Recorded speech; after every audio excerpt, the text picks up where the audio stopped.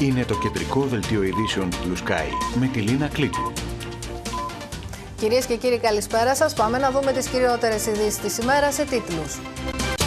Η γυναίκα που κακοποιήθηκε σεξουαλικά από τον πρέσβη της Βενεζουέλας λύνει της σιωπή της. Μιλά για τις πολιτικές πιέσεις που δέχτηκε για να μην προχωρήσει σε καταγγελίες και το παράπονό της που δεν εφαρμόζεται η απόφαση που τη δικαιώνει. Καρέ καρέ η παρενόχληση σκάφους του λιμενικού από τουρκική ακτεωρό ανοιχτά της Λέσβου. Έξι συνολικά περιστατικά απόπειρας εισόδου λέμβων με μετανάστες στα ελληνικά νερά. Η πρώτη παρτίδα self-test στο λιμάνι του Πειραιά. Δημιουργούνται 100 νέες φαρμακαποθήκες. Τα σχολεία θα ανοίξουν όταν όλοι οι μαθητές θα μπορούν να κάνουν ένα τεστ την εβδομάδα, λέει ο Μητσοτάκης. Κύμα φυγή στη σύνταξη εν ώψη ριζικών αλλαγών στα όρια ηλικίας από την 1η Ιανουαρίου. Αύξηση των αιτήσεων κατά 40%.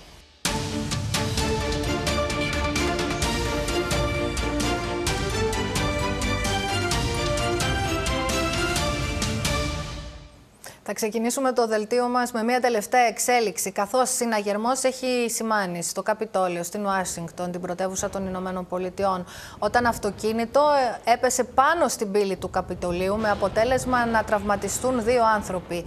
Ε, σύμφωνα με πληροφορίες, έχουν ακουστεί και πυροβολισμοί. Στο σημείο έχουν σπεύσει ισχυρές δυνάμεις των αρχών, ενώ άντρες των ειδικών δυνάμεων της αστυνομίας έχουν προχωρήσει, σύμφωνα με όλες τις ε, πληροφορίες, σε αποκλεισμό του κτηρίου.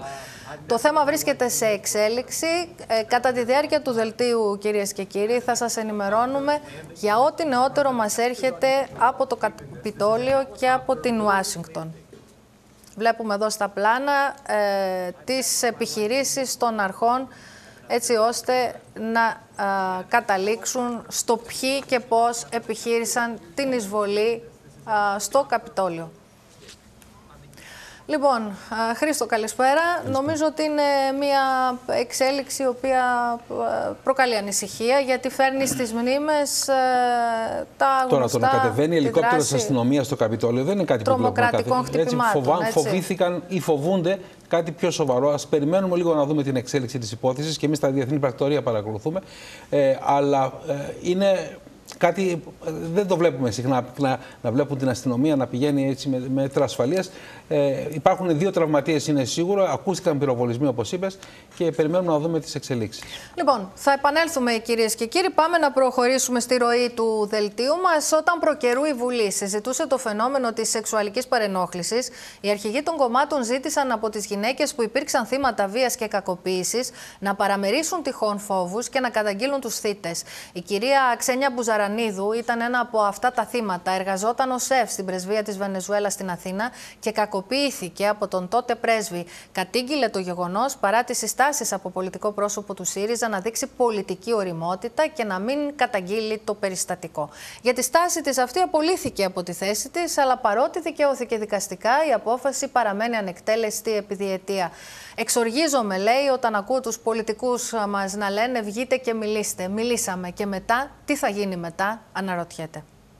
Σοκαριστικές είναι οι αποκαλύψεις που έκανε η Ξένια Μπουζαρανίδου, η Ελληνίδα σεφ που κακοποιήθηκε σεξουαλικά από τον πρώην πρέσβη της Βενεζουέλα στην Ελλάδα, Φράγκλιν Γκονζάλες. Εγώ ξεκίνησα το 2011 και όταν άλλαξε, όταν άλλαξε ο πρέσβης το 2012, αυτός που ήρθε ο κύριος ε, Γκονζάλες, ε, ήταν ο άνθρωπος που έκανε τη ζωή μας πραγματικά κόλαση όχι μόνο τη δικιά μου και άλλων τεσσάρων γυναικών. Όταν το 2012 εκείνη και άλλες γυναίκες κατήγγειλαν το συγκεκριμένο πρόσωπο για κακοποίηση, όπως λέει, υπήρξε πολιτική παρέμβαση προκειμένου το θέμα να μαζευτεί και ουσιαστικά ο δράστης φυγαδεύτηκε στη Βενεζουέλα. Έφυγε μετά τις καταγγελίες μας και όχι τις καταγγελίες, μετά την παρέμβαση του κυρίου Τσίπρα.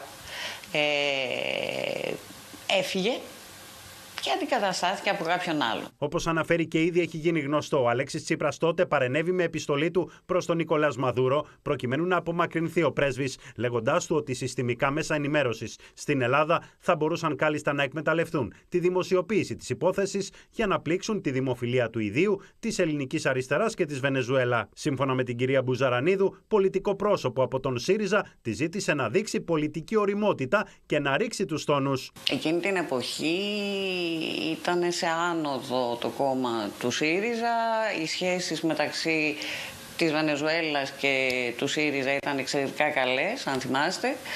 Και βεβαίως ήταν και προεκλογική περίοδος και βεβαίως το να έβγαινε ένα τέτοιο τύπου σκάνδαλο ε, θα μαύρωνε ίσως την εικόνα του ΣΥΡΙΖΑ στην Ελλάδα. Η κυρία Μπουζαρανίδου, που απολύθηκε μάλιστα, αν και δικαιώθηκε δικαστικά και η υπόθεση της τελεσυδίκησε, ακόμη δεν έχει εκτελεστεί η απόφαση. Η απόφαση με δικαιώνει πανηγυρικά, δηλαδή λέει ότι απολύθηκα λόγω της σεξουαλικής παρενόχλησης και της σεξουαλικής κακοποίησης, ε, επιδικάζει μία ηθική βλάβη, ε, κρίνει παράνομη και καταχρηστική την ε, απόλυση. Όπως λέει εξοργίζεται ακούγοντας πολιτικούς να προτρέπουν κακοποιημένες γυναίκες να καταγγείλουν όσα έζησαν, καθώς βλέπει ότι εκείνοι και άλλες γυναίκες που μίλησαν για τη συγκεκριμένη υπόθεση δεν δικαιώθηκαν ακόμη.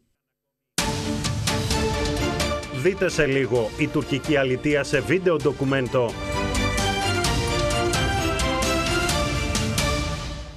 Κλήση για παροχή εξηγήσεων με την ιδιότητα του ύποπτου τέλεσης αξιόπινης πράξης. Απέστειλε η εισαγγελία πρωτοδικών της Αθήνας στον ηθοποιό και σκηνοθέτη Πέτρο Φιλιππίδη μετά από καταγγελίες τριών γυναικών για βιασμό και απόπειρες βιασμού. Οι καταγγελίες σε βάρος του έχουν μπει στις τελευταίες εβδομάδες στο μικροσκόπιο της εισαγγελίας μετά από στοιχεία που προσκόμισε το Σωματείο Ελλήνων Ηθοποιών. Όπως προβλέπεται από την δικονομία, ο ηθοποιός έχει το δικαίωμα να ζητήσει προθεσμία προκειμένου να προετοιμαστεί. Οι εξηγήσεις μπορούν να δοθούν είτε αυτοπροσώπως είτε διαγραπτού υπομνήματος προς τον εισαγγελέα, ο οποίος στη συνέχεια θα αποφανθεί για το εάν τα στοιχεία επαρκούν ή όχι για την άσκηση ποινικής δίωξης. Και τώρα, ε, Χρήστο, ε, επανέρχεται αυτό το θέμα και εδώ συνειδητοποιούμε ότι έχουμε μη του αλλά ελληνικά. Και εννοώ μη του με πολιτική πρόθεση, η οποία κατά περίπτωση απαλύνει ή επιβαρύνει την πράξη. Καταρχάς, να πούμε ότι αυτά ξεκίνησαν από την Μπεκατόρου. Όταν ξεκίνησε, άρχισε να μιλάει Μπεκατόρου, ξαφνικά λύθηκαν πολλές γλώσσες. Πήραν θάρρος πολλές γυναίκες.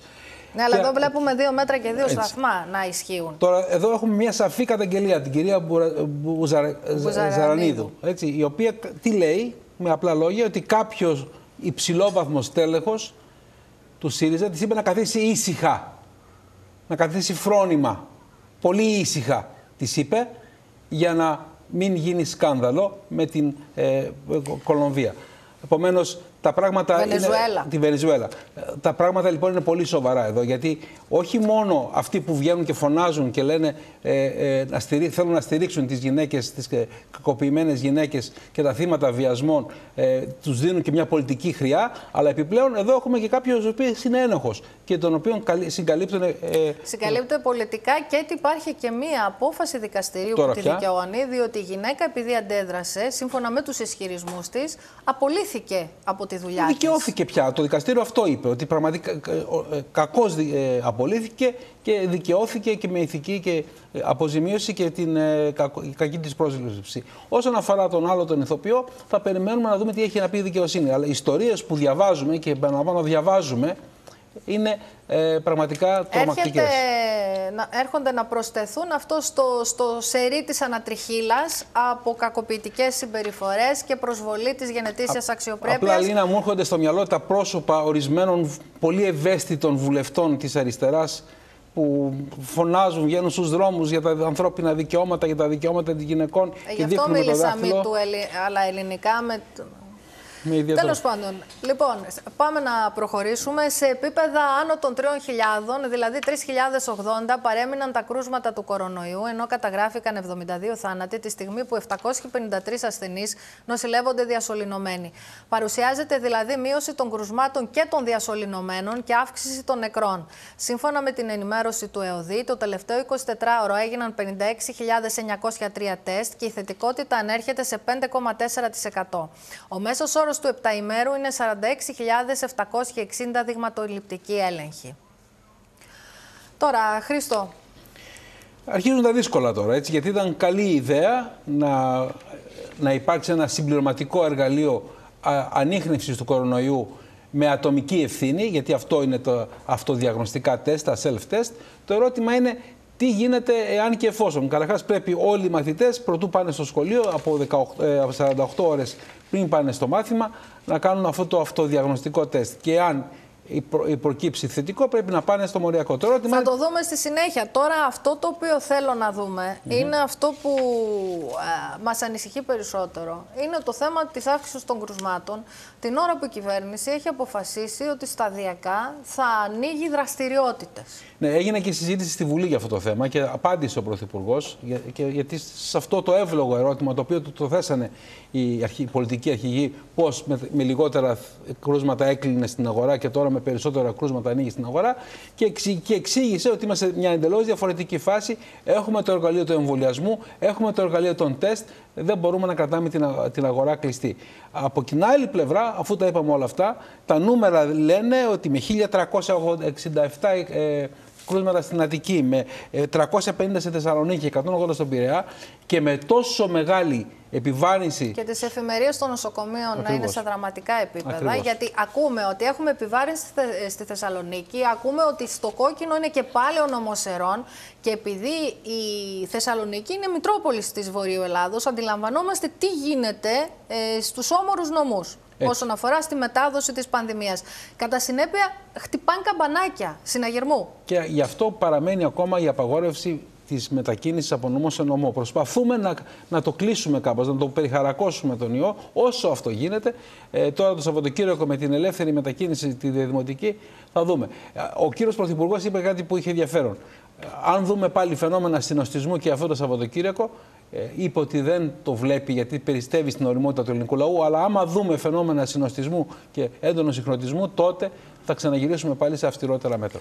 Λοιπόν, από την Τετάρτη 7 Απριλίου θα ξεκινήσει ο εφοδιασμός των φαρμακείων με τα self-test και καλώς εχόντων των πραγμάτων στο τέλος της εβδομάδας τα φαρμακεία της χώρας θα διαθέτουν επαρκείς ποσότητες για να τις διαθέσουν σε πρώτη φάση στου μαθητές Λυκείου 16 έως 18 ετών και τους εκπαιδευτικούς, ανακοίνωσε ο αναπληρωτής Υπουργός Υγείας Βασίλης Κοντοζαμάνης. Όπως είπε, η εισαγωγή της πρώτης παρτίδας των self-test ολοκληρώνεται σήμερα με την παράδοσή τους. Η επόμενη παράδοση είναι προγραμματισμένη στα μέσα της επόμενης εβδομάδας και η τελευταία στι αρχές της μεθεπόμενη. Ειδικά για τη διάθεση των πρώτων self-test από τα φαρμακεία θα ήθελα να επισημάνω τα εξής. Θα ξεκινήσει την επόμενη εβδομάδα για τους μαθητές και τους εκπαιδευτικούς των Λυκείων. Οι γονείς θα μπορούν να παραλαμβάνουν για τα παιδιά τους με την επίδειξη των άμκα τους τα τεστ που τους αναλογούν. Το self-test θα πραγματοποιείται στο σπίτι από 24 έως 48 ώρες πριν την έναρξη των μαθημάτων και το αποτέλεσμά του θα δηλώνεται στη σχετική πλατφόρμα. Στην περίπτωση αρνητικού αποτελέσματος, ο γονέας ή κηδεμόνας θα πρέπει να εκτυπώσει και να υπογράψει τη σχετική βεβαίωση, την οποία θα φέρει μαζί του ο μαθητής καθ' όλη τη διάρκεια της εβδομάδας και θα την επιδεικνύει στον εκπαιδευτικό της τάξης που είναι επιφορτισμένος με το παρουσιολόγιο. Όσοι μαθητές προκύπτουν θετικοί, θα πρέπει το συντομότερο δυνατόν να κάνουν ένα δεύτερο τεστ αντιγόνου, δωρεάν σε δημόσια δομή. Η λίστα των δομών θα αναγράφεται στο σχετικό ιστότοπο, προκειμένου να δικαιολογηθεί η απουσία από το σχολείο. Όσοι μαθητές δεν φέρουν μαζί τους τη βεβαίωση, δεν θα μπορούν να παρακολουθήσουν τα μαθήματά τους, ούτε θα υπάρχει δυνατότητα τηλεκπαίδευσης. Λοιπόν, τώρα, πες μου πώς θα λειτουργήσει αυτή η διαδικασία των self-test αρχικώς για τους μαθητές ε, του Λυκείου 16 18 ετών και τους εκπαιδευτικούς. Αυτή είναι η πρώτη, αυτοί που θα το δοκιμάσουν ε, εφόσον ξεκινάμε από την Τετάρτη να παίρνουν και τα ε, τεστ, τα φαρμακεία. Τα φαρμακεία θα είναι συνδεδεμένα με τις κεντρικές αποθήκες, ηλεκτρονικά, θα είναι ένα αρκετά εύκολο σύστημα. Δεν θα γίνονται τα τεστ στα φαρμακεία. Επομένως θα τα παίρνουν στο σπίτι τους οι άνθρωποι και θα το κάνουν μόνοι τους. Εάν προκύψει θετικό δείγμα, δηλαδή εάν υπάρχει ε, κορονοϊός, θα πρέπει αμέσως ο μαθητής να αποταθεί σε δημόσια δομή για να κάνει ένα μοριακό τεστ για να επιβεβαιωθεί ε, αυτό το κρούσμα. Εάν προκύψει αρνητικό τεστ, τότε ο γονιός θα πρέπει να υπογράψει μια βεβαίως υπεύθυνη δήλωση. Έτσι, χωρίς αυτή τη δήλωση δεν μπορεί να πάει το παιδί στο σχολείο. Σωστό. Επομένως, ε, υπά... Άρα υπάρχει μια μέρημνα προφύλαξης. Βεβαίως. Ναι. Και αυτό που μπαίνει στην συζήτηση πια και στην προσπάθεια χαλιναγώγησης του ιού και η ατομική μας ευθύνη. Ναι. Ο κάθε γονιός, ο κάθε μαθητής, ο κάθε εκπαιδευτικός. Τώρα δεν είναι ατομική ευθύνη, είναι ευθύνη έναντι του κοινωνικού συνόλου. Τώρα, η ατομική ευθύνη είναι και για την προστασία τη δική μας. Τώρα είναι, θέλει λίγο σοβαρότητα αυτή η εξέλιξη και να δούμε πώς θα λειτουργήσει. Πάμε να αλλάξουμε θέμα, κυρίες και κύριοι. Μπαράζ προκλήσεων με τουρκικές ακτεωρούς σήμερα το πρωί, βορειοανατολικά της Λέσβου. Μία μάλιστα εισήλθε εντός των ελληνικών χωρικών υδάτων και παρενόχλησε περιπολικό σκάφος του λιμενικού σώματος, πραγματοποιώντας επικίνδυνους ελιγμούς σε βάρος του. Σύμφωνα με τις λιμενικές αρχές, από τα ξημερώματα έως τις 7 το πρωί κατεγράφησαν 6 συνολικά περιστατικά απόπειρας εισόδου λέμβων με μετανάστες στα ελληνικά χωρικά ύδατα, τρία ε, ε, τρία μίλια ανατολικά της Λέσβου, δύο βόρεια και ένα στο νότιο τμήμα. Στις ε, Λέμβους επέβαιναν περίπου 300 μετανάστες. Σύμφωνα με πηγές του λιμενικού, έξι τουρκικές ακτεωροί που βρίσκονταν στο σημείο δεν προέβησαν σε κάποια κίνηση προκειμένου να παρεμποδίσουν τις Λέμβους, ενώ σε κάποιες περιπτώσεις τις συνόδευαν. Όπως τονίζει χαρακτηριστικά πηγή, ενώ σε τρεις περιπτώσεις θεωρείται εύκολη παρέμβαση των τουρκικών σκαφών, έκαναν τα στραβά μάτια ή ακόμη παρεμπόδισαν τις κινήσεις των ελληνικών σκαφών που περιπολούσαν. Αξίζει μάλιστα να να σημειωθεί ότι στο σημείο εμφανίστηκε και σκάφος του τουρκικού πολεμικού ναυτικού, το οποίο δεν είναι πλάκη στα περιστατικά. Τελικά, σε πέντε από τα έξι περιστατικά, την επιχείρηση περισυλλογή πραγματοποίησαν οι τουρκικές αρχές, ενώ η έκτη βρισκόταν σε εξέλιξη. Τις τελευταίες ημέρες στην περιοχή επικρατούσαν δυσμενείς καιρικές συνθήκες με ισχυρούς βορειάδε, ωστόσο η βελτίωση του καιρού από χθες ευνόησε την αύξηση των ροών. The Hellenic Coast Guard reported multiple incidents of the Turkish Coast Guard and Navy accompanying flimsy migrant boats to the border of Europe in an effort to provoke an escalation with Greece. It is beyond doubt that these migrants departed Turkish shores, and given the fact they were supported by Turkey, were not at risk. We call on Turkey to stand down and stop this unwarranted provocation return these migrants safely to Turkey and live up to the 2016 EU-Turkey Joint Statement on Migration. Δείτε σε λίγο σκηνές ροκ στη Βουλή για την πανδημία.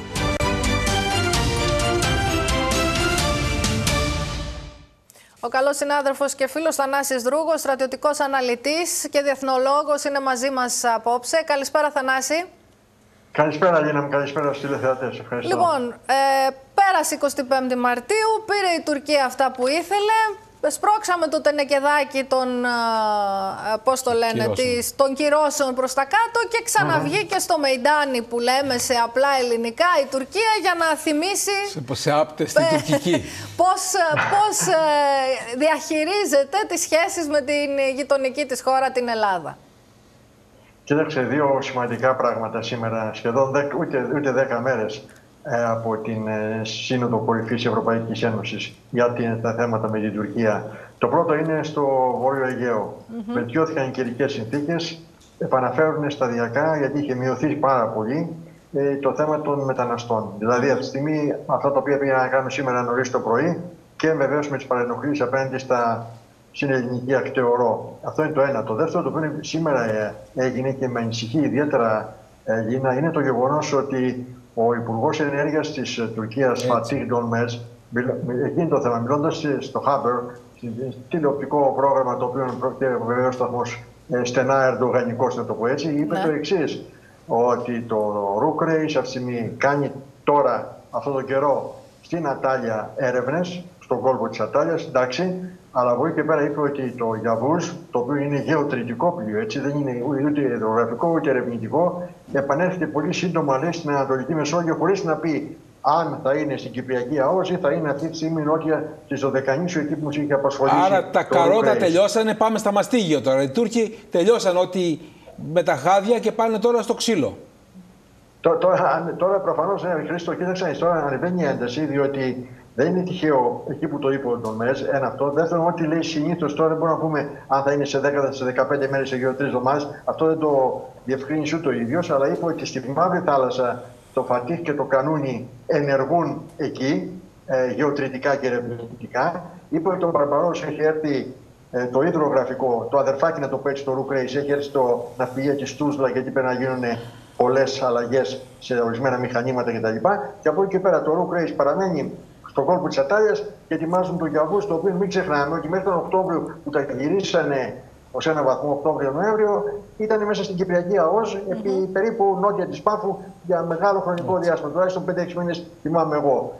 Κατόπιν τούτο αυτό με προβληματίζει, διότι φαίνεται πλέον ότι δεν δείχνουν ε, τάσεις να αποκλιμακώσουν την Κάθε ένταση. άλλο. Επειδή θα πάει Ναι, επί, επί, κάθε άλλο μάλιστα. Επειδή την άλλη εβδομάδα, γιατί είχε μια επικοινωνία σήμερα τηλεφωνική, αν δεν με απατάει η μνήμη μου, ο κ. Μητσοτάκης με τον Σαλ Μισελ, τον πρόεδρο του Ευρωπαϊκού Συμβουλίου, τον πρώην Πρωθυπουργό του Βελγίου, θα πάει στην Τουρκία ο Μισελ την άλλη εβδομάδα, όπως και ο κ. Μητσοτάκης θα κάνει πρώτη επίσκεψη στη Λιβύη.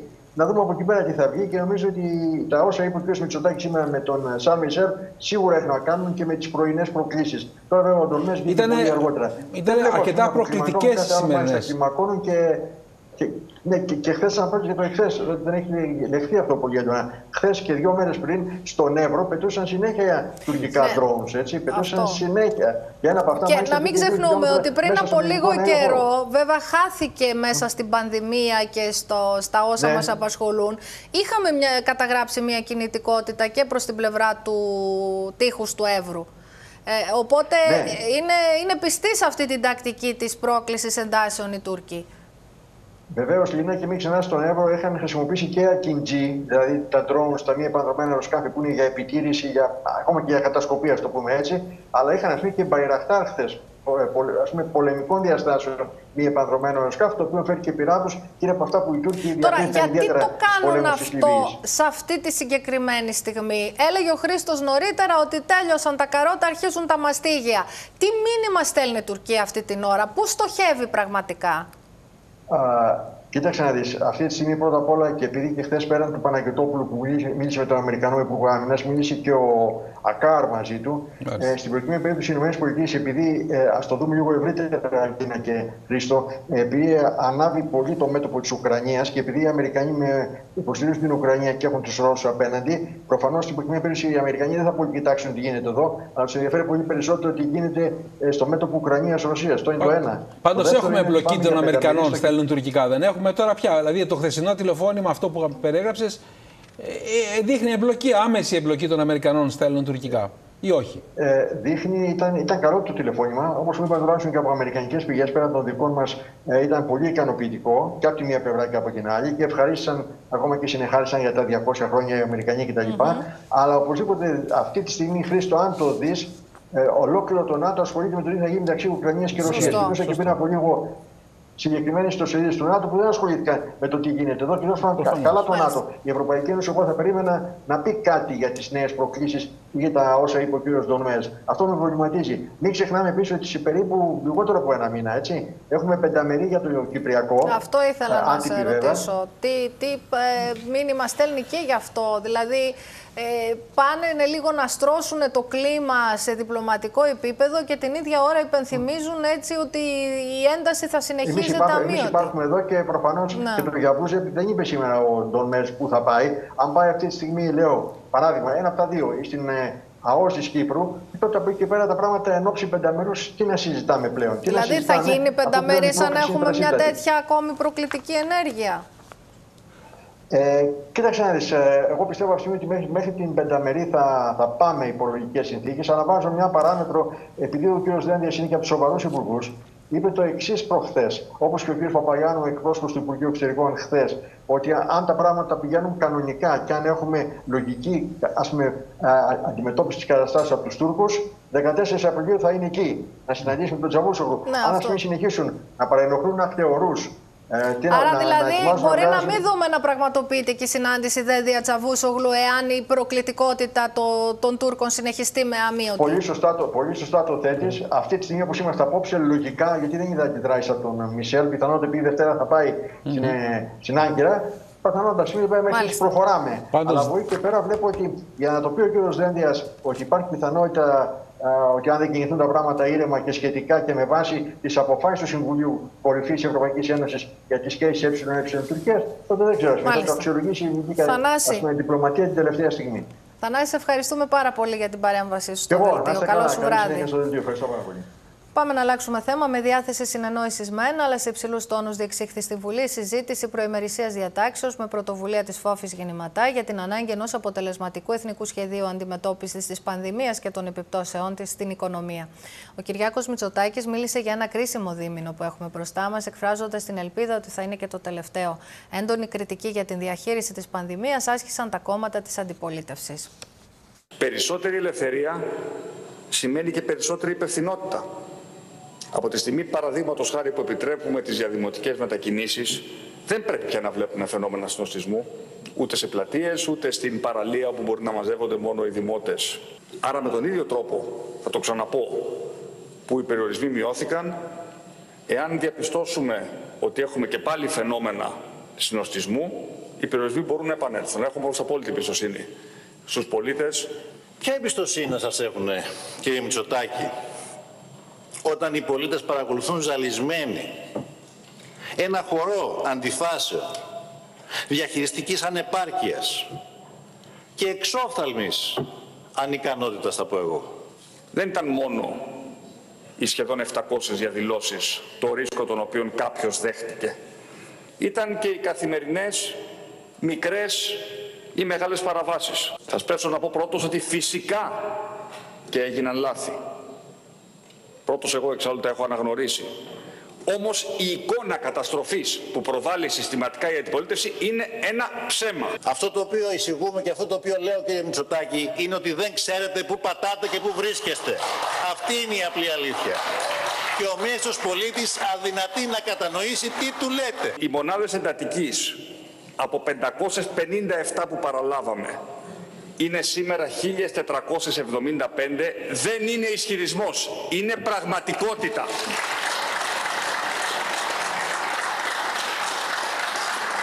Οι χιλιάδες προσλήψεις οι οποίες έγιναν στο σύστημα υγείας δεν είναι φίμπη, είναι γεγονός. Δημιουργήσατε από τα 600 γεμάτα κρεβάτια στις ΜΕΘ έχουμε φρακάρει.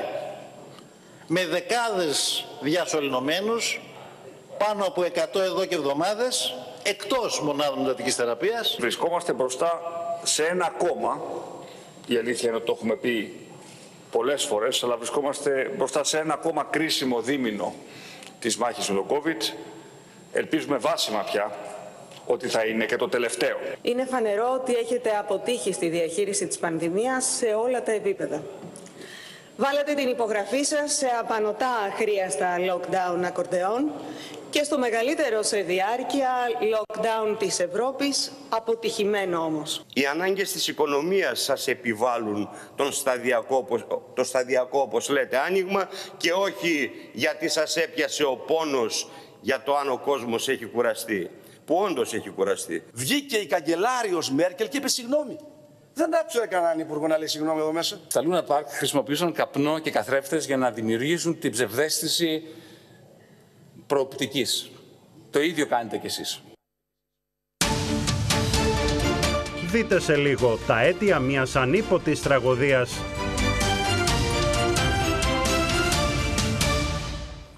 Γρίφος παραμένει για την ώρα το άνοιγμα της εστίασης σε εξωτερικούς χώρους, με την κυβέρνηση να ξεκαθαρίζει ότι αναμένει το θετικό νεύμα των επιστημόνων για να ορίσει ημερομηνία. Κάτι που ο Πρωθυπουργός εκτίμησε ότι θα γίνει μετά το Πάσχα. Την ίδια ώρα, ο κλάδος κρίνει ως σημαντικό βοήθημα το πρόγραμμα στήριξης συνολικού ύψους 330 εκατομμυρίων ευρώ, που θα δώσει κεφάλαιο για την αγορά πρώτων υλών στην επανέναρξη των επιχειρήσεων. Στον αέρα βρίσκεται ακόμη η ημερομηνία επανεκκίνησης της εστίασης, με τον Κυριάκο Μητσοτάκη να ξεκαθαρίζει ότι θα εξαρτηθεί από το πότε θα δοθεί πράσινο φως από τους ειδικούς. Σήμερα δεν είμαστε έτοιμοι να προσδιορίσουμε πότε θα ανοίξει η εστίαση. Ε, αυτό θα γίνει όταν μας το επιτρέψουν ε, οι επιδημιολογικές συνθήκες. Η κυβέρνηση ανακοίνωσε πρόγραμμα στήριξης 330 εκατομμυρίων ευρώ για την παροχή κεφαλαίου κίνησης στις επιχειρήσεις εστίασης με σκοπό την αγορά πρώτων υλών και μέγιστο ποσό ενίσχυσης αναεπιχείρηση της 100.000 ευρώ. Με το πρόγραμμα που αναγγέλουμε σήμερα δεν πάμε να καλύψουμε ζημίες. Ζημίες έχουν όλοι οι κλάδοι της ελληνικής οικονομίας και όλες οι επιχειρήσεις. Εδώ ερχόμαστε να καλύψουμε ένα κεφάλαιο κίνησης για την αγορά των υλικών. Το ποσό της ενίσχυσης ανέρχεται στο 7% επί του τζίρου του κύριου ΚΑΔ εστίαση ή του ΚΑΔ με τα μεγαλύτερα έσοδα του 19, ενώ τα τιμολόγια θα πρέπει να κατατεθούν μέχρι τέλους του έτους. Θα παίξει καθοριστικό ρόλο ο χρόνος με το οποίο θα έρθει αυτή η ρευστότητα στα χέρια των επιχειρήσεων. Δηλαδή αυτό που θα παρακαλέσω και εσάς προσωπικά αλλά και τον ε, κύριο Γεωργιάδη και τον κύριο Τσακύρη ε, να είναι πριν το άνοιγμα της εστίασης. Να ξέρουμε με ποιους όρους θα ανοίξουμε, ποια θα είναι τα μέτρα, να μπορέσουμε να κανονίσουμε κι εμείς ό,τι χρειάζεται να κανονίσουμε για να μπορέσουμε να λειτουργήσουμε σωστά. Οι αιτήσεις θα υποβάλλονται στο πληροφοριακό σύστημα κρατικών ενισχύσεων στη διεύθυνση επενδύσει.gr από τη στιγμή που θα δοθεί η έγκριση από τις Βρυξέλλες και θα γίνονται δεκτές έως 31 Ιουλίου, ώστε να μπορέσουν να ενταχθούν και οι εποχιακές επιχειρήσεις. Η αξιολόγηση θα είναι άμεση και η εκταμείευση της επιχορήγησης θα γίνεται αμέσως μετά την ένταξη και την έγκριση της. Δείτε σε λίγο, ανοίγουν τα μυστικά της Μαρφίν.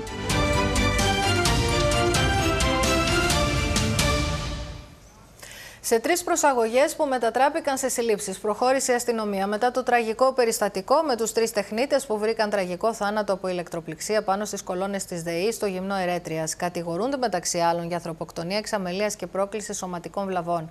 Οι αστυνομικοί ερευνούν και το εάν είχε ζητηθεί να γίνει διακοπή του ηλεκτρικού ρεύματος στην περιοχή πριν προχωρήσουν οι εργασίες.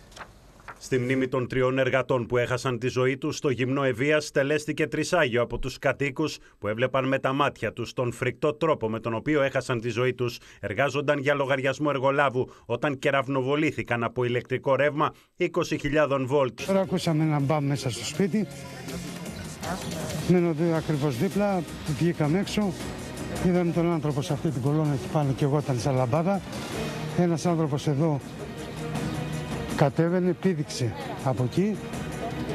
Και οι δύο άλλοι άνθρωποι ήταν εκεί και έκανε μία έκρηξη μέσα από την κολόνα, βγήκε και μακαρία το ερώτημα που τίθεται είναι γιατί δεν είχε διακοπεί το ρεύμα κατά τη διάρκεια των εργασιών. Τα καλώδια είχαν πιαστεί στο γερανό και το ρεύμα χτυπούσε ανελαίητα τους τεχνίτες, από τους οποίους ο ένας ήταν πάνω στην κολόνα και οι άλλοι δύο δίπλα στο φορτηγό. Οι άλλοι πέσανε κάτω, οι άνθρωποι άλλοι χτυπιούνταν, φωνάζαν. Τι άλλο να πούμε; Ο πρόεδρος της Γενόπ ΔΕΗ, Γιώργος Αδαμίδης, έκανε λόγο για εγκληματική αμέλεια, καθώς μεταξύ άλλων είναι απαράβατος, όπως είπε όρος, η διακοπή του ηλεκτρικού ρεύματος όταν γίνονται εργασίες. Από τα θύματα, οι δύο ήταν Έλληνες και ο τρίτος Αλβανός. Και λαμπαδιά ο άνθρωπος. Και εγώ ήταν. Τον έμεινε και εγώ ήταν και εγώ ήταν. Έκλειγα, δεν μπορούσα να κάνω τίποτα. Φωνάζουν και άλλοι που ήταν οι εργαζόμενοι. Τώρα με τηλέφωνο δεν απαντούσε κανένα στη ΔΕΗ. Η αστυνομία συνέλαβε τον εργοδηγό, τον μηχανικό και την επιβλέπουσα του έργου και τους κατηγορεί για ανθρωποκτονία εξαμελίας και πρόκληση σωματικών βλαβών. Αφού οδηγήθηκαν στον εισαγγελέα της Καλκίδας, αφέθηκαν ελεύθεροι. Ωστόσο, η έρευνα συνεχίζεται προκειμένου να προσδιοριστούν πιθανές ευθύνες. Είχαν κόψει το ρεύμα. Και δεν ξέρω, κάποιο τρόπο έφυγε. Έκανε παλάτζο και πήγε πάνω στο άλλο που είχε το ρεύμα. Δίπλα, ακριβώς είναι. Τα βλέπετε και μετά καήκανε. Οι οικογένειες των θυμάτων δεν μπορούν να πιστέψουν ότι έχασαν τους ανθρώπους τους. Η 20χρονη κόρη του Άλεξ Μπρούκα δήλωσε ότι ήταν έμπειρος εναερίτης και αγαπούσε τόσο πολύ τη δουλειά του που σε λίγους μήνες θα ήταν και πτυχιούχος ηλεκτρολόγος. Θα έπαιρνε το πτυχίο του και θα σταματούσε να ανεβαίνει στις κολόνες. Προκαταρκτική διερεύνηση αδικημάτων για την υπόθεση της Μαρφίν Διέταξη Εισαγγελία Αθηνών κατόπιν νέων στοιχείων που προσκομίστηκαν από την Ελλάδα. Η διερεύνηση ανατέθηκε στην Υποδιεύθυνση Κρατικής Ασφαλείας της Διεύθυνσης Ασφάλειας Αττικής. Σύμφωνα με πληροφορίες από την επανεξέταση των στοιχείων, βιντεοληπτικό υλικό, μαρτυρίες, φωτογραφίες, καταθέσεις, έχουν προκύψει 4 με 5 νέοι ύποπτοι. Μετά τη διαταγή της Εισαγγελία, αναζητούνται στοιχεία που θα μπορούν να στοιχειοθετήσουν τη συμμετοχή των υπόπτων στη δολοφονική επίθεση. Οι κατηγορίες αφορούν σε τρία κακουργήματα, αυτά της ανθρωποκτονίας, συμμετοχή σε εγκληματική οργάνωση και κατασκευή και χρήση εκρηκτικών υλών. Και πάμε στο σημείο αυτό να καλωσορίσουμε στο κεντρικό δελτίο του Blue Sky τον Πρίτανη του αστυνομικού ρεπορτάζ, τον ε, Πάνο Σόμπολο. Καλησπέρα Πάνο, ευχαριστούμε που είσαι μαζί μας απόψε. Γεια σου Πάνο, χαίρομαι που σε βλέπω. Καλησπέρα συνάδελφοι, καλησπέρα σας κυρίες και κύριοι. Και εγώ χαίρομαι που είμαι μαζί σας. Ε, λοιπόν, Βέβαια για θλιβερό. Πάντα πολύ θλιβερό και ουσιαστικά ένα έγκλημα χωρίς τιμωρία πάνω. Ε, γιατί δεν είναι μόνο οι τρεις άνθρωποι που έχασαν τη ζωή τους, ήταν και το κοιοφορούμενο της Αγγελικής. Και το ερώτημα που θέλω να σου θέσω, επειδή εσύ μπορείς να διαβάζεις και κάτω από τις γραμμές και να αναλύσει τις δικογραφίες και τα στοιχεία των ε, αστυνομικών αρχών, τι είναι αυτά τα καινούργια στοιχεία που προέκυψαν και γιατί οι πληροφορίες που έχουμε είναι ότι είμαστε πια πολύ κοντά στην εξυχνίαση αυτού του εγκλήματος; Ε, Λίνα, όπως πολύ καλά γνωρίζεις, δεν κάνω τώρα πλέον ρεπορτάζ, αλλά η εμπειρία σου είναι πολύ μεγάλη πάνω. Ε, και για τα γεγονότα, αυτά τα τραγικά γεγονότα τα οποία έζησα εκείνη την ημέρα, αλλά και γενικότερα από τις πυρκαγιές. Ε, και εμένα μου έκανε εντύπωση πως μετά από 10 πάμε 11 χρόνια τώρα ε, εμφανίστηκαν τα, και εμφανίζονται τα καινούργια στοιχεία. Ε, μακάρι να είναι ατράνταχτα στοιχεία. Λέγεται με βάση τα δηλαδή. στοιχεία του ρεπορτάζ ότι η χρήση των, ε, της εξελιγμένης τεχνολογίας οδηγεί τις αρχές ίσως σε ασφαλέστερα συμπεράσματα και στο λέω αυτό γιατί οι ίδιες πληροφορίες επιμένουν ότι αυτοί που επιχειρείται να στοιχειοθετηθούν ως ένοχοι δεν έχουν καταγραφεί στην πρώτη φάση των ερευνών. Ούτε έχουν ναι. κατηγορηθεί. Στην πρώτη είχαμε κατηγορούμενο, ε, είχαμε ε, Αθώθηκαν όμως. Αλλά αθώθηκαν Δεν υπήρχαν επαρκή στοιχεία προφανώς. Ακριβώς. Δεν υπήρχαν επαρκή στοιχεία και η δικαιοσύνη ε, τους αθώωσε. Ε, το θέμα είναι τώρα αυτά τα νέα στοιχεία για τα οποία και το Υπουργείο Δημόσιας Τάξης και οι, διοκτικά, οι διοκτικές αρχές λένε ότι έχουν να είναι πραγματικά ατράνταχτα για να ε, βρεθούν οι πραγματικοί ένοχοι και να τιμωρηθούν παραδειγματικά για τη μνήμη αυτών των τριών αθώων και του ε, μωρού που δεν πρόλαβε να δει, να, να ανοίξει τα μάτια του και να δει τον κόσμο. Θα μου πεις τιμωρηθούν, δεν τιμωρηθούν; Θα έρθουν πίσω οι άνθρωποι αυτοί οι οποίοι ήταν 32, 35 και 36 χρόνια. Όχι, αλλά είναι ένα είδος κάθαρσης. Έτσι είναι. Τώρα... Κάποτε πρέπει να τιμωρούνται αυτοί. Ε, Για να μην επαναλαμβάνονται τέτοιου είδους ιδεχθεί εγκλήματα. Να περνάει και ένα ε, μήνυμα αποτροπή στην κοινωνία. Μακάρι ε, έτσι είναι και έτσι πρέπει η δικαιοσύνη ε, τέτοια μηνύματα να περνάει. Τώρα, πάνω, θέλω να σε ρωτήσω κάτι άλλο. Επειδή το τελευταίο διάστημα έχουμε ακούσει πάρα πολλά για χρήση αστυνομικής βίας, βρίσκονται πολλές εδές σε εξέλιξη για να δούμε τι ακριβώς έχει γίνει. Βάλετε δικαίωση ή αδίκωση αστυνομία αυτή την περίοδο; Κοίταξε, νομίζω ότι σε κάποια ε, περιστατικά έχει δίκιο ο κόσμος, σε άλλα μπορεί να μην έχει. Ε, η βία όμως Λίνα από πουδήποτε και αν προέρχεται είτε αστυνομική είναι είτε ε, ε, να μην αναφέρω από πουδήποτε και αν προέρχεται η βία και το μίσος είναι καταδικαστέα. Ε, δυστυχώς είναι κάτι που στην εποχή μας αυθονεί, δυστυχώς. Υπάρχει και μάλιστα όταν έχεις να κάνεις με ανθρώπους όχλο, ο όχλος όπως πολύ καλά ξέρεις δεν παλεύεται, δεν, ε, ε, ε, δεν μπορείς να συνοηθείς με τον όχλο. Δεν είναι άνθρωποι που διαμαρτύρονται για κάποιο γεγονός. είναι άνθρωποι που έχουν διάφορα αιτήματα και διαμαρτύρονται κανονικά. Υπάρχουν όμως και κάποιες άλλες κατηγορίες που εντάσσονται σε αυτή την κατηγορία που λέω εγώ, όχλο, ε, εκεί τα πράγματα είναι λίγο ε, εντελώς διαφορετικά, όχι λίγο, εντελώς διαφορετικά. Μάλιστα. Ε, περίπτωση τώρα της Νέας Μύρνης με το πρώτο περιστατικό, όπως έδειξαν τα πράγματα, ε, έχει δίκιο ο, ο, ο, ο κόσμος που διαμαρτύρεται. Ακριβώς και έχει απόλυτο δίκιο. Υπήρχε... Έχουμε αστυνομική ναι. βία. Ναι. Αν έτσι έχουν τα πράγματα, γιατί εγώ δεν ήμουν εκεί να... Απα... Αυτά όσα ήταν στο φως της ε, δημοσιότητος ήρθαν ε, αυτά τα στοιχεία που είδαμε.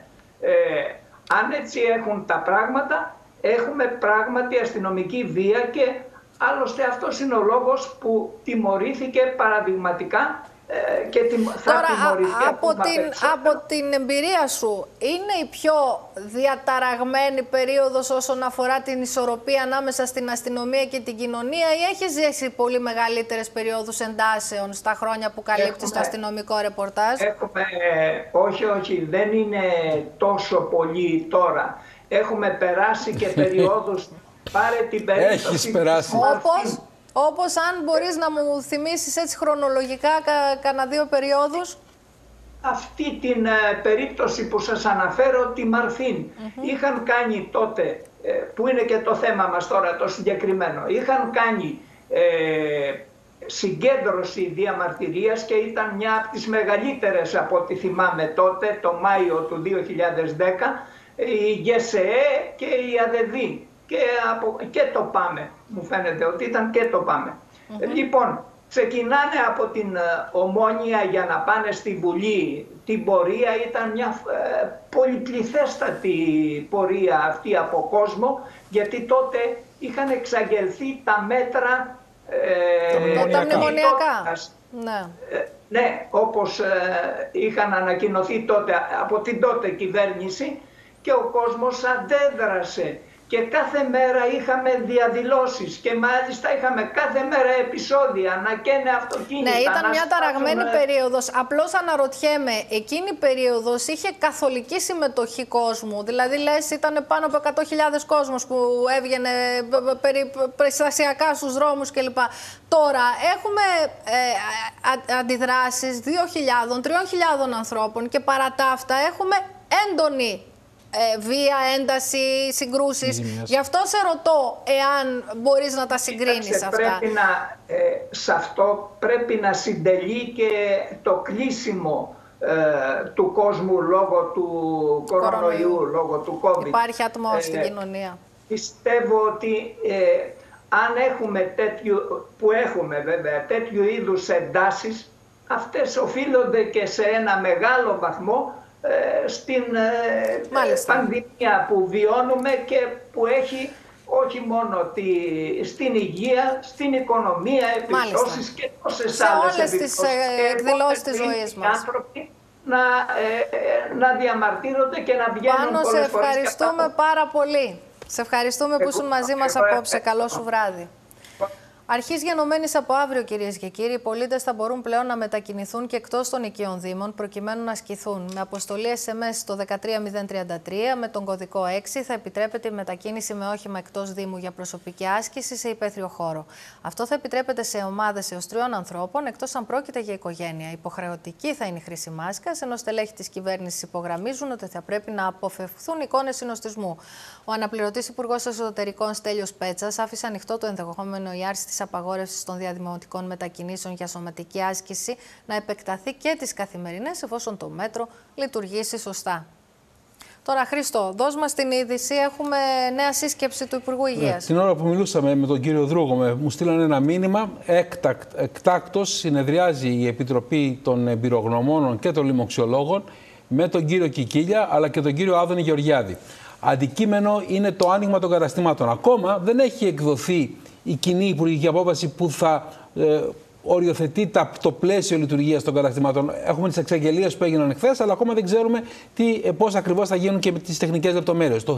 Αυτό που μου στέλνουν τώρα μήνυμα είναι ότι δεν είναι μόνο το πώς θα λειτουργήσουν τα καταστήματα, αλλά το πώς θα λειτουργήσουν τα καταστήματα σε ορισμένες περιοχές που είναι πολύ κόκκινες, με, με, με αυξημένα όπως είναι η Θεσσαλονίκη, όπως είναι η Αχαία, όπως είναι η Κοζάνη. Εκεί ίσως να υπάρξουν και πιο περιοριστικά μέτρα, γιατί το πρόβλημα είναι σοβαρότερο. Άρα θα έχουν αποφάσεις πολλαπλών ταχυτήτων.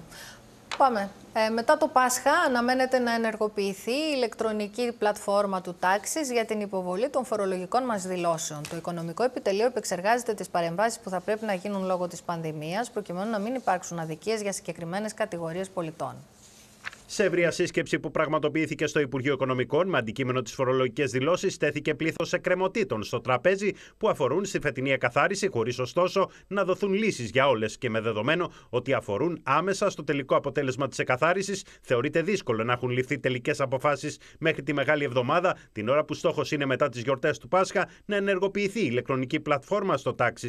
Αυτό βέβαια σημαίνει ότι και φέτος η διαδικασία υποβολής των φορολογικών δηλώσεων θα διαρκέσει τουλάχιστον μέχρι τον Ιούλιο, ίσως και περισσότερο. Πολύ πιθανό επίσης είναι το σενάριο ο φετινός φόρος εισοδήματος, που είναι σαφώς πολύ μειωμένος σε σχέση με τον αντίστοιχο περσινό, να πληρωθεί έως και σε 8 μηνιαίες δόσεις, ώστε η τελευταία να καταβληθεί Φλεβάρι του 2022. Σε κάθε περίπτωση, το Οικονομικό Επιτελείο επιχειρεί να λύσει μια δύσκολη εξίσωση που να καταλήγει σε μια τελική συνταγή ελάφρυνσης των φορολογουμένων για να μην επιβαρυνθούν από τεκμήρια λόγω της υφιστάμενης κατάστασης, αλλά και απαλλαγής των καταναλωτών από πιθανά πρόστιμα επειδή δεν πραγματοποίησαν αρκετές ηλεκτρονικές συναλλαγές. Επιπλέον πρέπει να ξεκαθαρίσει το τοπίο σχετικά με την έκπτωση φόρου που θα δοθεί σε όσους έκαναν ενεργειακές αναβαθμίσεις ακινήτων και να αποφασιστεί τι θα γίνει με τα ανίσπρακτα ενίκεια. Οι ιδιοκτήτες ζητούν εύλογα να μην φορολογηθούν για εισόδημα που δεν έχουν εισπράξει χωρίς να προσφύγουν στα δικαστήρια.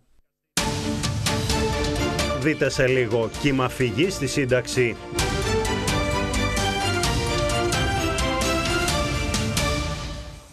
Οι ανατροπές που έρχονται από την 1η Ιανουαρίου του 2022 στο συνταξιοδοτικό έχουν φουσκώσει από τώρα τις τάσεις φυγής από την ενεργό δράση. Η πανδημία, σε συνδυασμό με την ανησυχία από τις προτάσεις της Επιτροπής Πισαρίδη, ενισχύουν ακόμη περισσότερο το κύμα εξόδου που τρέχει με ρυθμούς ταχύτερους κατά 40% σε σχέση με το 2020. Εκφράζονται φόβοι ότι η μαζική φυγή θα εντείνει τις πιέσεις στον ΕΦΚΑ που έχει υποστεί δεινό πλήγμα και από τις επιπτώσεις της πανδημίας στην απασχόληση. Αλλάζουν τα δεδομένα για την κοινωνική ασφάλιση από την 1η Ιανουαρίου του 2022 και ήδη πολλοί είναι εκείνοι που σπέβδουν να συνταξιοδοτηθούν με τις ισχύουσες διατάξεις που είναι σαφώς ευνοϊκότερες. Η σημαντικότερη αλλαγή αφορά χιλιάδες ασφαλισμένους οι οποίοι θα μπορούσαν να αποχωρήσουν είτε με πλήρη είτε με μειωμένη σύνταξη γύρατος από το 62ο έτος της ηλικίας τους. Ο νόμος που θα ισχύσει από το νέο έτος θεσπίζει ως γενικό όριο για πλήρη σύνταξη το 62ο έτος αλλά μόνο για όσους έχουν συμπληρώσει 40 έτη ή 12.000 μέρες ασφάλισης και αντίστοιχα το 67ο έτος για όσους έχουν 15 έτη εργασίας ή 4.500 μέρες ασφάλισης. Είναι χαρακτηριστικό το παράδειγμα μητέρας με 5.500 ένσημα του ΙΚΑ και ανήλικο τέκνο που μπορούσε να βγει στη σύνταξη το 2010 σε ηλικία 55 ετών. Τώρα μπορεί να πάρει πλήρη σύνταξη αν έχει κλείσει τα 65,5 έτη και μειωμένη αν είναι τουλάχιστον 56 και 9 μηνών. Το 2022 παίρνει σύνταξη πλήρης στα 67 της χρόνια και μειωμένη στα 58,5 έως τα 62 της. Αντίστοιχη είναι η αύξηση των ορίων ηλικίας και για τους ασφαλισμένους των πρώην 10 και τραπεζών. Οι μητέρες με ανήλικο τέκνο και προϋπηρεσία 25 ετών μέχρι το 2011 μπορούσαν να πάρουν σύνταξη σε ηλικία 52 ετών. Το 2021 το όριο ηλικίας για πλήρη σύνταξη είναι 65,3 έτη και για την μειωμένη 61,1. Το όριο αυτό θα ανέβει ακόμη περισσότερο το 2022 στα 67 έτη για την πλήρη σύνταξη και στα 62 για τη μειωμένη. Το νέο μαζικό κύμα εξόδου αναμένεται να εντείνει ακόμη περισσότερο τις πιέσεις στον ΕΦΚΑ, όπου εκκρεμούν 153.000 κύριες συντάξεις ή 350.000 αν συνυπολογιστούν οι επικουρικές που βρίσκονται σε αναμονή, τα εφάπαξ και οι εκκρεμότητες από την παράλληλη ασφάλιση. Ο οικονομολόγος ο κύριος Σπύρος Σταυρούλιας είναι μαζί μας απόψε. Καλησπέρα κύριε Σταυρούλια, σας ευχαριστούμε που είστε στο κεντρικό δελτίο του Blue Sky. Καλησπέρα κυρία Κλήτου. Σας ευχαριστώ πολύ για την πρόσκληση. Λοιπόν, με τον έναν ή τον άλλο τρόπο, είτε έχουμε οικονομική κρίση είτε δεν έχουμε, το συνταξιοδοτικό παραμένει ε, ένα από τα πρώτα ζητήματα σε δύο κατευθύνσεις. Και στην πρόορη φυγή με αφορμή τα όρια ηλικία συνταξιοδότησης, αλλά και με το θέμα των εκκρεμουσών συντάξεων. Γιατί υπάρχει πάρα πολλοί κόσμος ο οποίος έχει στηθεί στη, στην ουρά και δεν βλέπει φως. Κυρία Κλήτου, κοιτάξτε να δείτε, όσο ε, τα κριτήρια ε, πιέζουν και τροποποιούνται, τόσο το κύμα φυγής θα διωγγώνεται και είναι απόλυτα βέβαιο πως όσο πιο νωρίς αποφασίζουν οι εργαζόμενοι να φύγουν από την ενεργοδράση και να αμείβονται από τα συνταξιδοτικά ταμεία, όλο αυτό θα πιέζει τα συνταξιδοτικά ταμεία. Ταυτόχρονα Τώρα, πιέζει έχει και να κάνει με τις... τσέπη βέβαια, γιατί τα εισοδήματά τους μειώνονται δραματικά σε σχέση με αυτά που Έτσι ακριβώς είναι. Έτσι ακριβώς είναι και για ένα μεγάλο διάστημα, από τη στιγμή που θα αποφασίσουν να, να συνταξιδοτηθούν, θα πληρώνονται με την ελάχιστη σύνταξη των 360 ευρώ, με αυτή την προκαταβολή η οποία έχει θεσπιστεί πλέον. Ε, ένα σοβαρό πρόγραμμα το οποίο ξεκίνησε το Υπουργείο Εργασίας, ολοκληρώθηκε στις 31 Μαρτίου οι αιτήσεις που άμεσα θα επεξεργαστούν έτσι ώστε μέχρι το Πάσχα να πάρουν τα 360 ευρώ συνταξιούχοι έχουν κάνει ε, ήδη αίτηση για συνταξιοδότηση. Αλλά και πάλι δεν, δεν φτάνει εδώ, κύριε Σταυρούλια. Παίζεται ένα θέατρο παραλόγου. Έχουμε το μεγαλύτερο πληθυσμό συνταξιούχων σε ενεργα... Ε, ηλικιακά ενεργό πληθυσμό και παρά τα αυτά, αντί να κρατούν αντικίνητρα για την πρόορια συνταξιοδότηση, θεσμοθετούνται μέτρα τα οποία την ευνοούν. Δηλαδή ε, είναι κάτι το οποίο ούτε τη δεκαετής μνημονιακή κρίση κατάφερε να λύσει, ούτε και κανένα, καμία λογική πολιτική μπόρεσε να, να, να αντιστρέψει το κλίμα. Κυρία Κλήτου, ε, τόσο όσο και ο κύριος Κόνστας, ο οποίος είναι πολλά χρόνια στο, στη δημοσιογραφία και καταλαβαίνει πάρα πολύ καλά. Το συνταξιοδοτικό είναι κάτι το οποίο θα πρέπει να προγραμματιστεί τώρα για μετά από 20-30 χρόνια. Mm-hmm. Δυστυχώς, έτσι όπως έχουμε γίνει, δεν υπάρχει αυτή η πολυτέλεια. Έτσι, η κάθε κυβέρνηση αναγκάζεται να νομοθετεί προκειμένου να βγει χρονιά που λέμε. Σωστό. Με αυτά τα κριτήρια καθυστερεί τον κόσμο, πηγαίνει τον κόσμο πιο πίσω. Φτάσαμε στα 67 για να βγούμε σε σύνταξη. Με αποτέλεσμα όλο αυτό να λειτουργεί αποτρεπτικά και να αναγκάζεται ο κόσμος να συνταξιδοτείται νωρίτερα. Τώρα, είπατε τη, τη λέξη κλειδί, το να βγει η χρονιά. Πώς βλέπετε να βγαίνει αυτή η χρονιά με, μέσω πανδημίας και παρά τα μέτρα τα οποία λαμβάνει η κυβέρνηση για στήριξη όλων όσων πλήττονται από αυτήν; Κοιτάξτε να δείτε, η κυβέρνηση έχει πάρει πάρα πολλά μέτρα όλο αυτό το διάστημα και υπάρχουν δύο θέματα τα οποία θα πρέπει να συζητήσουμε. Πρώτον, αν είναι προς σωστή κατεύθυνση και δεύτερον, εάν επαρκούν. Η αλήθεια είναι πως είναι προς τη σωστή κατεύθυνση. Βέβαια δεν επαρκούν. Όσα και να δώσει σε μια τέτοια κατάσταση, δύσκολα θα μπορέσουμε να βγούμε, να πούμε ότι ναι, φτάνουν αρκετά, μην μας δίνετε άλλα. Τώρα κάνει μια τεράστια προσπάθεια να, να επιδοτήσει την εστίαση. Ναι. Με το καινούριο πρόγραμμα το οποίο άμεσα θα ανοίξει, περιμένουμε την έγκριση από την Ευρωπαϊκή Ένωση, γιατί πρόκειται για πόρους από τα ευρωπαϊκά κονδύλια. Δείχνουν, δείχνουν στην πρώτη φάση αυτή του restart που χρειάζεται, δείχνουν να, να ικανοποιούνται οι, αυτοί οι οποίοι θα, είναι, θα αποδεχθούν αυτή τη βοήθεια. Ναι, Αρκεί βέβαια να βοηθήσει λίγο και η κινητικότητα του τουρισμού και η κινητικότητα της κοινωνίας. Θα πρέπει να βοηθήσει η κινητικότητα και εδώ είναι πολύ οριακό και πολύ σημαντικό το πόσο σύντομα θα δοθούν αυτά τα χρήματα, κυρία Κλήτου. Δηλαδή, επειδή πρόκειται για ευρωπαϊκά κονδύλια, χρήζουν ευρωπαϊκής έγκρισης. Mm-hmm. Μόλις δοθεί η ευρωπαϊκή έγκριση, άμεσα θα ανοιχτεί η πλατφόρμα και από ό,τι έχει πει το Υπουργείο, με την αίτηση θα γίνεται η αξιολόγηση και ε, άμεσα η έγκριση και η εκταμείευση των χρημάτων. Εάν έχουμε τόσο γρήγορες διαδικασίες και πάρουν τα χρήματα πριν το άνοιγμα, έχει καλώ. Ε, Μα είπε σήμερα ο Πρωθυπουργός ότι κατά την εκτίμησή του πριν από το Πάσχα δεν βλέπει να ανοίγουν τα μαγαζιά. Άρα μετά το Πάσχα πάμε για, 10, για 10 Μαΐου τουλάχιστον, με δεδομένο ότι 14 ε, έχουμε την ε, τουριστική περίοδο, την έναρξη της τουριστικής περίοδου. Σωστά. Κατά συνέπεια έχουμε ένα μήνα και κάτι για να μπορέσουμε να λειτουργήσουν και οι ευρωπαϊκές διαδικασίες και οι ελληνικές διαδικασίες για να αποδοθούν τα ποσά εκκίνησης. Ε, έτσι ακριβώς. Μέσα σε αυτό το διάστημα ε, ευελπιστούμε ότι θα έχει τρέξει και η επιστρεπτέα προκαταβολή 7, Ναι. Όπου θα αφορά το πρώτο τρίμηνο του 2021, θα πέσουν και αυτά τα χρήματα στα ταμεία ε, της εστίασης. Οπότε, εκεί στις αρχές του επόμενου μήνα, ευελπιστούμε πως η εστίαση θα βρεθεί με αρκετά σοβαρά χρήματα στα ταμεία της για να επανακαινήσει τη λειτουργία της. Μάλιστα. Λοιπόν, κύριε Σταυρούλια, σας ευχαριστούμε πάρα πολύ για την παρουσία σας στο δελτίο μας και εύχομαι να πάνε κατευχήν τα πράγματα και τα κονδύλια να πάνε εκεί που πραγματικά υπάρχουν ανάγκες, γιατί η ζημία που έχει προκληθεί από την πανδημία είναι τεράστια. Πάντως δουλειά έχετε σίγουρα, έχετε πάρα πολύ. Ευχή όλων μας. Ναι. Καλό σας βράδυ. Έχουμε. να είστε καλά, να είστε καλά. Καλό βράδυ. Λοιπόν, Περνούμε τα σύνορα. Σοκ προκαλεί το πολύ νεκρό σιδηροδρομικό δυστύχημα που συνέβη στην Ταϊβάν. Επιβατικός σειρμός εκτροχιάστηκε μέσα σε τούνελ αφού συγκρούστηκε με σταθμευμένο όχημα που κύλησε στις γραμμές. Τουλάχιστον 40 άνθρωποι έχασαν τη ζωή τους και ακόμη 72 τραυματίστηκαν, οι 60 σοβαρά. Με μεγάλη δυσκολία το έργο των σωστικών συνεργείων για να απεγκλωβίσουν επιβάτες από τα συντρίμμια. Ο επιβατικός σειρμός εκτροχιάστηκε μέσα σε τούνελ στο ανατολικό τμήμα της Ταϊβάν. Δεκάδες άνθρωποι σκοτώθηκαν, ακόμη περισσότεροι τραυματίστηκαν, με την επιχείρηση διάσωσης να γίνεται κάτω από πολύ δύσκολες συνθήκες για τον απεγκλωβισμό επιβατών από βαγόνια που παραμορφώθηκαν. 地区啊，你那时候车厢的状况是怎么样？你那边的状况？现在困在里面，很多人困还困在里面。 Για τον απεγκλωβισμό τους αναγκάστηκαν οι επιζώντες να περπατήσουν στην οροφή του τρένου. 靠靠走道的，对，靠走道，然后我有被甩。 Ο σειρμό που εκτελούσε δρομολόγιο με προορισμό την Ταϊτούγκ εκτροχιάστηκε μέσα σε στοά βόρεια τη πόλη Χουαλιέν, με αποτέλεσμα ορισμένα από τα βαγόνια να προσκρούσουν στα τυχώματα του τούνελ. Στο τρένο επέβαιναν 350 άνθρωποι. Σύμφωνα με πληροφορίε, συγκρούστηκε με όχημα, ο οδηγό του οποίου δεν το είχε σταθμεύσει σωστά και κοινοκύλησε μέχρι τι γραμμέ.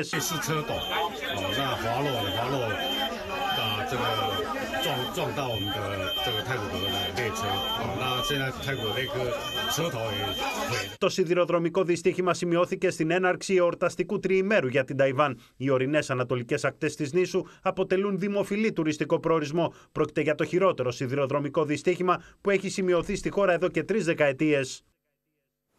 Πραγματικά σοκαριστικές οι εικόνες που παρακολουθήσαμε.